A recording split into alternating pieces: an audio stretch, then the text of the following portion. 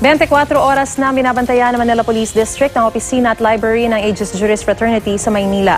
Ayon sa mga tauhan ng MPD na nadatnan ng GMA News sa lugar, inutusan silang huwag payagan ang sino mang magbukas ng opisina ng fraternity. Bago nito, makailang beses nang pinuntahan ng GMA News ang opisina pero nananatili itong sarado. Sabi rin ng mga nasa katabing opisina, hindi na talaga binubuksan ang nagsisilbing tanggapan ng Aegis Juris. Kahit bago pa namatay si uh, Acho Castillo sa umano'y hazing, ano?